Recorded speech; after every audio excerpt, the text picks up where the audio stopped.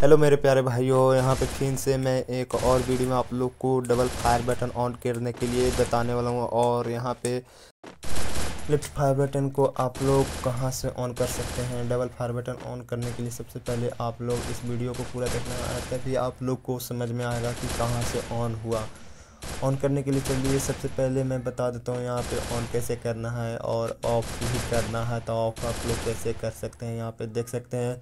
मैं यहाँ पे सेटिंग में आ गया और सेटिंग में आने के बाद आप लोग देख सकते हैं, मैंने ऑफ़ कर दिया। ऑफ़ करने के बाद अब ऑन करेंगे और लेफ़्ट फायर बटन को ऑन करने वाला चलिए यहाँ पे सेटिंग में चलते हैं। सेटिंग में चलने के बाद आप लोग देख सकते हैं लेफ़्ट फायर बटन आप लोग सामने लिखा होगा और लिखने के बाद आप लोग एलवेज कर देना। एलवेज आप लोग करने के बाद आप लोग देख सकते हैं, मेरा फायर बटन आ गया।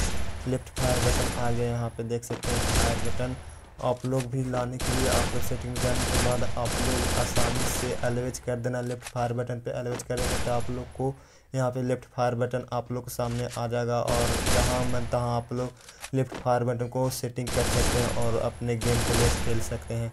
वीडियो अच्छे लगे तो लाइक और चैनल को सब्सक्राइब ज़रूर करना।